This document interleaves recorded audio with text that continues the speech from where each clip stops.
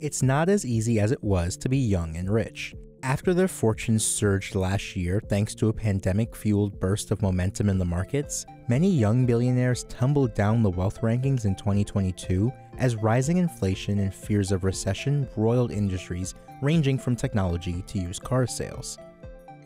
There are 10 billionaires under the age of 40 on this year's Forbes 400 list of the richest Americans, down from 15 last year most of whom fell below the list's $2.7 billion cutoff or out of the billionaire rankings altogether amid wild market swings.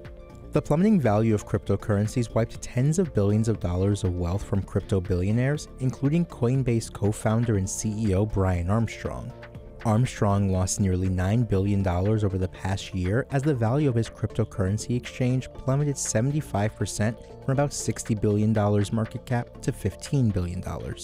His Coinbase co founder, Fred Ehrsam, fell completely off the list. Two other co founders who lost billions this past year are Snapchat co founders Evan Spiegel and Bobby Murphy.